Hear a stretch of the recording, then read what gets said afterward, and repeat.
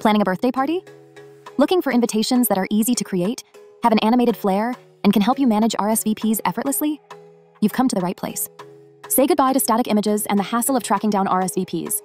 In this video, I'll guide you on transforming your awesome Canva birthday designs into interactive animated online invitations with the Create eCards Canva app, making RSVP collection a breeze. For this demonstration, I've chosen a kid's birthday party invitation to show you how to customize it and connect it with Create eCards to collect RSVPs from Once you've picked your template, update the details to align with your event specifics. To make the invitation lively and engaging, let's add some animations and then connect it to Create eCards. I'll add the chosen animation to my design.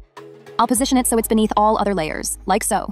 All right, so now this invitation is animated and we're ready to connect this to Create eCards. So I will go to Apps. Then I will search for Create eCards, and I will click on this app.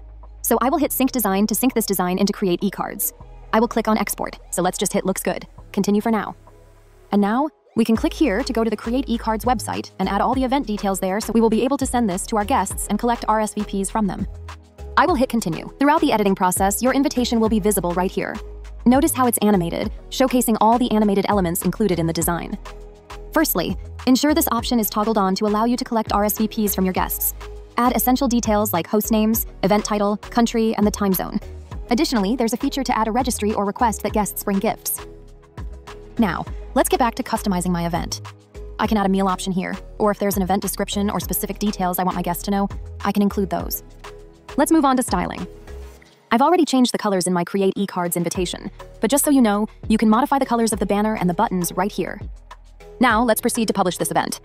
The only thing left to do is edit the URL if you want to. You can also add a web page title if you wish. Once you've published your e-card, you're ready to send out a link to your guests so they can RSVP. Simply copy the link from here. If you have guests who speak a different language, like Spanish, you can also change the invitation to their language. Switch over to Spanish, and when you copy the link now, it's for the Spanish version of your invitation. Let's take a look at what your guests will see when they receive this link. Here's the view your guests will have. They'll see your animated Canva design, followed by all the event details. When they click on the RSVP button, they'll go through a short process to provide their details, letting you know they're coming. On the homepage, you'll see all your e-invites. To track RSVPs, click on View RSVPs. You'll see a summary of the responses, like having four replies, five attending, and one apology, meaning five guests are attending and one is not. Below, you'll find a list of guests who have responded to your e-invite.